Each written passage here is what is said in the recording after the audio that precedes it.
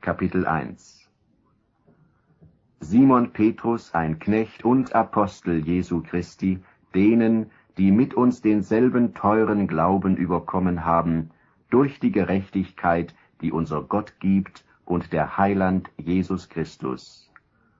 Gott gebe euch viel Gnade und Frieden durch die Erkenntnis Gottes und unseres Herrn Jesus.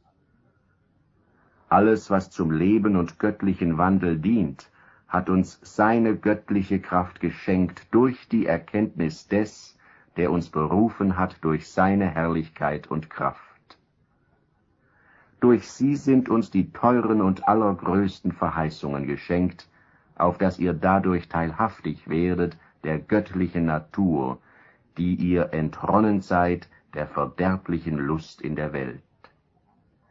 So wendet allen euren Fleiß daran und beweist in eurem Glauben Tugend und in der Tugend Erkenntnis und in der Erkenntnis Mäßigkeit und in der Mäßigkeit Geduld und in der Geduld Gottesfurcht und in der Gottesfurcht brüderliche Liebe und in der brüderlichen Liebe die Liebe zu allen Menschen.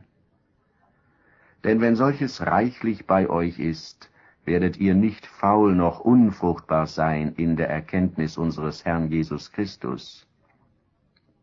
Wer aber solches nicht hat, der ist blind und tappt im Dunkeln und hat vergessen, dass er rein geworden ist von seinen vorigen Sünden. Darum, liebe Brüder, tut desto mehr Fleiß, eure Berufung und Erwählung festzumachen. Denn wenn ihr solches tut, werdet ihr nicht straucheln, und so wird euch reichlich dargereicht werden der Eingang zu dem ewigen Reich unseres Herrn und Heilandes Jesus Christus. Darum will ich's nicht lassen, euch alle Zeit daran zu erinnern, wie wohl ihr's wisset und gestärkt seid in der Wahrheit, die bei euch ist. Ich achte es aber für billig, solange ich in dieser Hütte bin, euch zu erinnern und zu erwecken, denn ich weiß, dass ich meine Hütte bald verlassen muss, wie mir denn auch unser Herr Jesus Christus kundgetan hat. Ich will aber Fleiß tun, dass ihr alle Zeit nach meinem Abscheiden solches im Gedächtnis halten könnt. Denn wir sind nicht klugen Fabeln gefolgt, als wir euch kundgetan haben die Kraft und das Kommen unseres Herrn Jesus Christus, sondern wir haben seine Herrlichkeit selber gesehen. Denn er empfing von Gott dem Vater Ehre und Preis durch eine Stimme, die zu ihm kam von der großen Herrlichkeit. Dies ist mein lieber Sohn, an dem ich wohlgefallen habe. Und diese Stimme haben wir gehört vom Himmel kommen, als wir mit ihm waren auf dem heiligen Berge. Und wir haben desto fester das prophetische Wort, und ihr tut wohl, dass ihr darauf achtet, als auf ein Licht, das da scheint an einem dunklen Ort, bis der Tag anbreche und der Morgenstern aufgehe in euren Herzen. Und das sollt ihr vor allem wissen, dass keine Weissagung in der Schrift eine Sache eigener Auslegung ist. Denn es ist noch nie eine Weissagung aus menschlichem Willen hervorgebracht, sondern von dem Heiligen Geist getrieben haben Menschen im Namen Gottes geredet. Kapitel 2 Es waren aber auch falsche Propheten unter dem Volk, wie auch unter euch sein werden, falsche Lehrer, die neben einführen verderbliche Sekten und verleugnen den Herrn, der sie erkauft hat, und werden über sich selbst herbeiführen eine schnelle Verdammnis. Und viele werden nachfolgen ihrem zuchtlosen Wandel, und um ihretwillen wird der Weg der Wahrheit verlästert werden. Und aus Habsucht werden sie mit erdichteten Worten an euch ihren Vorteil suchen, Ihnen ist das Urteil seit langem bereitet, und ihre Verdammnis schläft nicht.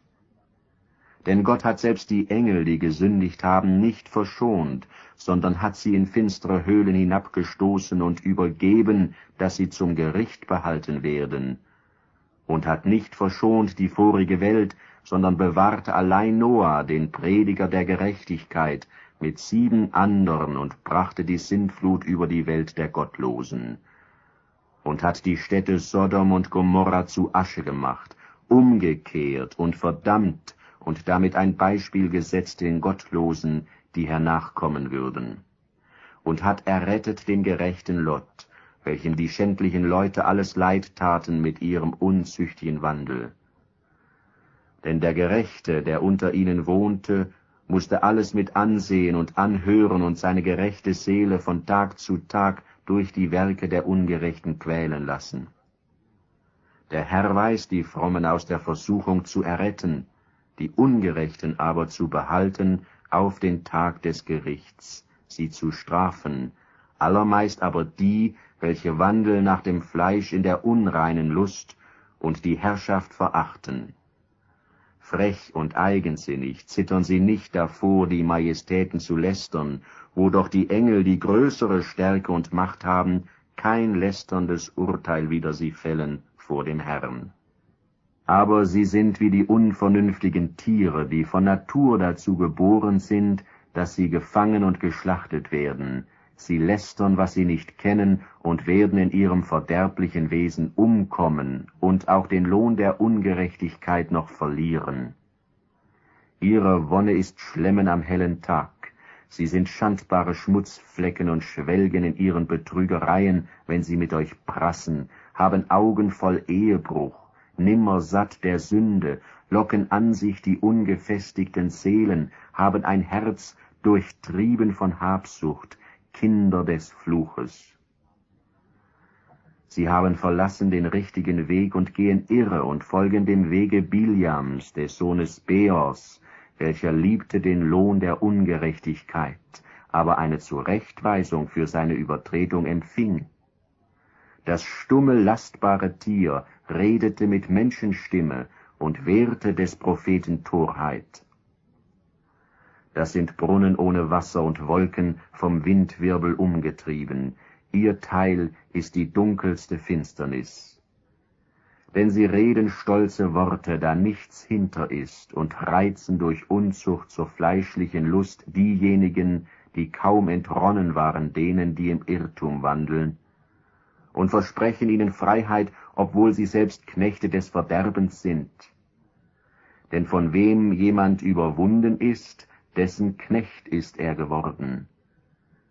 Denn wenn sie durch die Erkenntnis des Herrn und Heilandes Jesus Christus entflohen sind dem Unrat der Welt, werden aber wiederum von demselben betört und überwunden, dann ist's mit ihnen am Ende ärger geworden als zuvor. Denn es wäre ihnen besser, dass sie den Weg der Gerechtigkeit nicht erkannt hätten, als dass sie ihn erkennen und sich abkehren von dem heiligen Gebot, das ihnen gegeben ist. Es ist ihnen widerfahren das wahre Sprichwort, der Hund frisst wieder, was er gespien hat, und die Sau wälzt sich nach der Schwemme wieder im Kot. Kapitel 3 Dies ist nun der zweite Brief, den ich euch schreibe, ihr Lieben, in welchem ich euch wiederum erinnere und erwecke euren lauteren Sinn, dass ihr gedenket an die Worte, die zuvor gesagt sind von den heiligen Propheten, und an das Gebot des Herrn und Heilandes, das verkündet ist durch eure Apostel. So wisset aufs Erste, dass in den letzten Tagen kommen werden Spötter des Spottes voll, die nach ihrem eigenen Gelüste wandeln und sagen, Wo bleibt die Verheißung seines Kommens? denn nachdem die Väter entschlafen sind, bleibt es alles, wie es von Anfang der Schöpfung gewesen ist.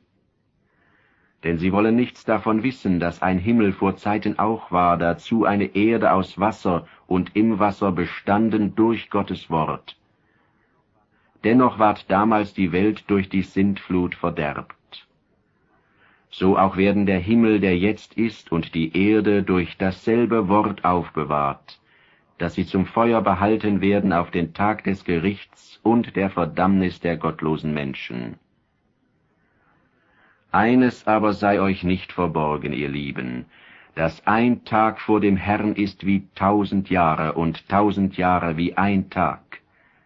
Der Herr verzögert nicht die Verheißung, wie es etliche für eine Verzögerung achten, sondern er hat Geduld mit euch und will nicht, dass jemand verloren werde, sondern dass sich jedermann zur Buße kehre. Es wird aber des Herrn Tag kommen wie ein Dieb.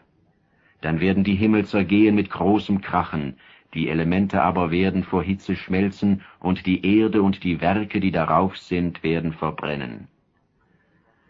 Wenn das alles soll so zergehen, wie müsst ihr da geschickt sein in heiligem Wandel und gottesfürchtigem Tun, die ihr wartet und eilet zu der Ankunft des Tages Gottes, an welchem die Himmel vom Feuer zergehen und die Elemente vor Hitze zerschmelzen werden. Wir warten aber eines neuen Himmels und einer neuen Erde nach seiner Verheißung, in welchen Gerechtigkeit wohnt. Darum, meine Lieben, weil ihr darauf wartet, so tut Fleiß, dass ihr vor ihm unbefleckt und unsträflich im Frieden erfunden werdet, und die Geduld unseres Herrn achtet für eure Rettung, wie auch unser lieber Bruder Paulus nach der Weisheit, die ihm gegeben ist, euch geschrieben hat. Wie er auch in allen Briefen davon redet, in welchen sind etliche Dinge schwer zu verstehen, welche die Ungelehrigen und Ungefestigten verdrehen, wie sie es auch bei den anderen Schriften tun, zu ihrer eigenen Verdammnis. Ihr aber, meine Lieben, weil ihr das zuvor wisset, so hütet euch, dass ihr nicht durch den Irrtum der ruchlosen Leute samt ihnen verführt werdet und fallet aus eurem festen Stand wachset aber in der Gnade und Erkenntnis unseres Herrn und Heilandes Jesus Christus. Dem sei Ehre, nun und zu ewigen Zeiten.